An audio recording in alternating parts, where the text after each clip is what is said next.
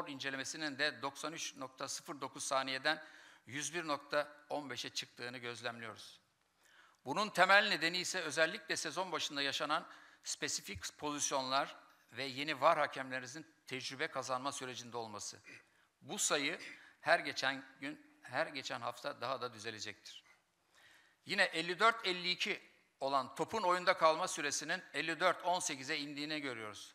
Bunun da inceleme süresinin artmasının etkisiyle gerçekleştiğini söyleyebiliriz. Özetle doğru kullanım konusunda mesafe kat ettik. Ancak oyunun soğuması problemini tam anlamıyla çözemedik. Bu konu Premier Lig başta tüm liglerde yaşanan bir sorun. Bu sorunu da zaman içerisinde gidermeye çalışacağız. Değerli arkadaşlar, ülkemizde hakemlik yapmak çok zor bir görev. Ve bu görevi üzülerek söylüyorum ki futbolun tüm paydaşları olarak daha zorlaştırdık ve zorlaştırıyoruz.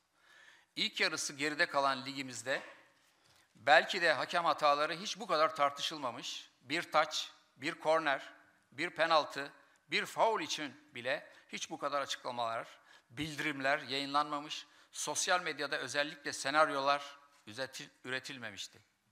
Ne acıdır ki futbol ailesi olarak hatayı en aza düşürmesi için getirdiğimiz teknolojiyle hakemlerimizi daha da tartışılır hale getirdik. Dünya Kupası standardında aynı firmaya bağlı bir ekip tarafından çizilen çizgide bile kusur aradık.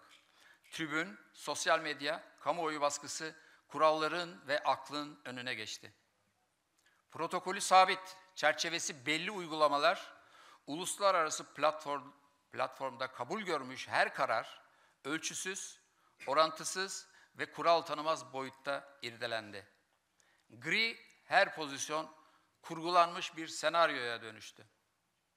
Ne üzücüdür ki bize iletişime açık olun diyenler futbolun içindeki paydaşları temsil eden kişilerle yapılan bir görüşmeyi farklı üsluplarla yorumlayıp arkasında akıl almaz şeyler arayanlar oysa ki bu görüşmeyle yanlış bilgilerin düzeltildiğini hiç düşünmedi. Aklına bile getirmedi. Maalesef öyle anlar oldu ki sorumluluğumuz altındaki hakemlerimizle bir araya geldiğimiz için neredeyse suçlu ilan edildik. Ortalığı yangın yerine çevirenler, suyu bulandırmak isteyenler sadece ve sadece hakemliğe değil, Türk futboluna zarar veriyor. Soruyorum sizlere. Bizlerin hakemlere adil maç yönetin söyleminin dışında ne söylemi olabilir? Bir hakemimizin dürüstçe maç yönetmekten başka ne amacı olabilir? İlla herkesi mutlu edecek bir kural icat etmek mi gerekiyor? Eleştiriye tabii ki açığız. Yeter ki eleştiri saygı çerçevesinde olsun, hakareti içermesin. Şunu unutmayın ki hakemlerin başarısı futbolun tüm paydaşlarının desteğiyle mümkün. Başkanlarımız, yöneticilerimiz, teknik direktörlerimiz, futbolcularımız ve medyamız hep birlikte hareket edersek çözümün anahtarını da bulmuş oluruz. Diliyorum böyle bir tablo oluşur ve ligin ikinci yarısı daha huzurlu bir ortamda oynanır. Sevgili basın mensupları, soru cevap bölümüne geçmeden önce iki konuya açıklık getirmek istiyorum. Sizlerle tüm detayları ile gerek Zorlu'daki toplantı, gerek Fenerbahçe Beşiktaş maçının hakemleriyle yaptığım görüşmeyi anlatacağım. Değerli Federasyon Başkanımızın davetiyle Fenerbahçe Kulübü Başkanı Sayın Ali Koç ve Sayın Semih Özsoy'la gerçekleşen görüşmede MHK olarak, MHK Başkanı olarak benim, benim bulunmamın ana sebepleri yazılı ve görsel basında kural hatası, İFAP raporu, atamalarda hakemlere son haftaki, bir sonraki haftaki görev verilip verilmemesi ve penaltı gibi pozisyonların, konuların gündem haline getirilmesi ve özellikle bunların herkes için rahatsız edici boyutlara ulaşmasıydı.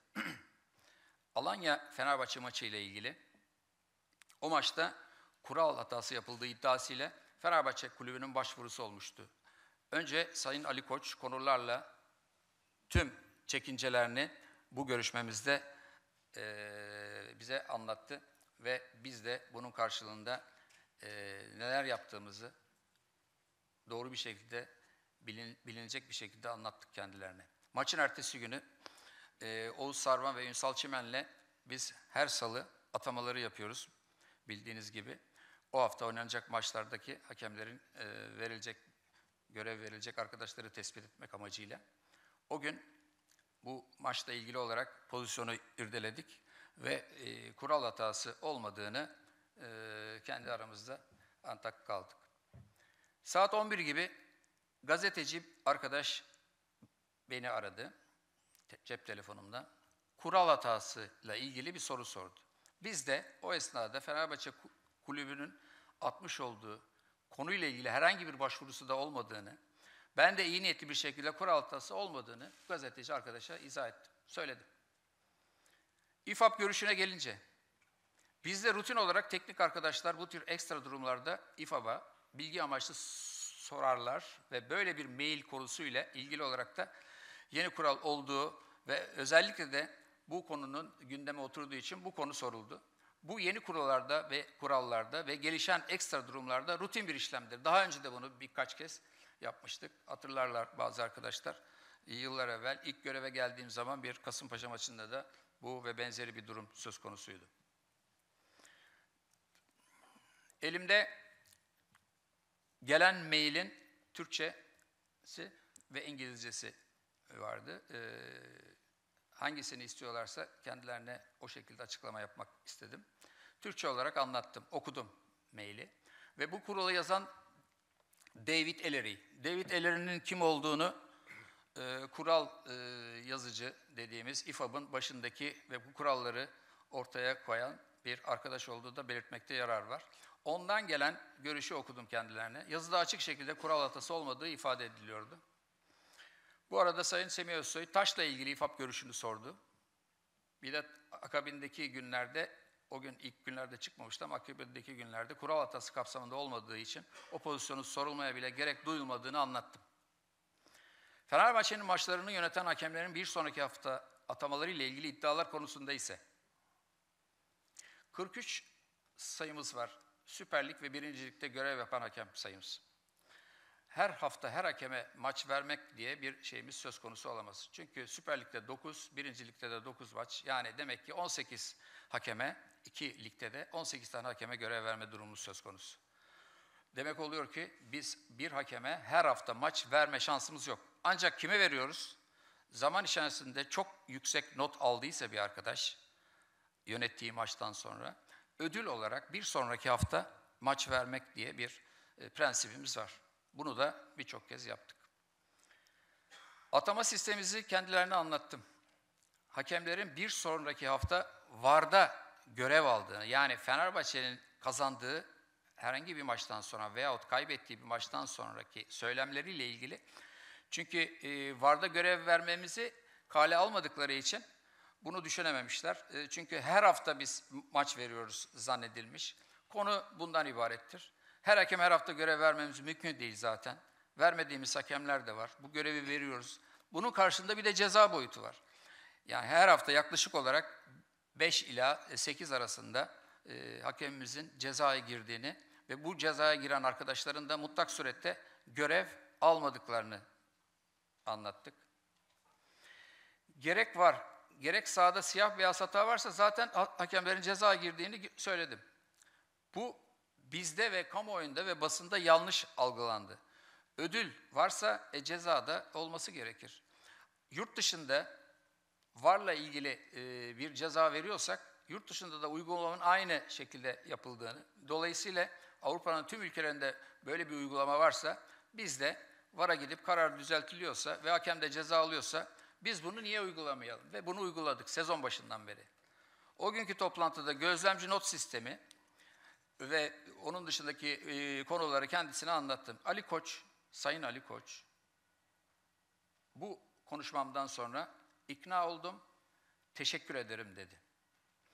Ben Zekeriya Alp olarak bugüne kadar olduğu gibi bundan sonra da her kulüp başkanı ile başkanımız Nihat Özdemir'in olduğu ortamda her zaman görüşmeye hazırım.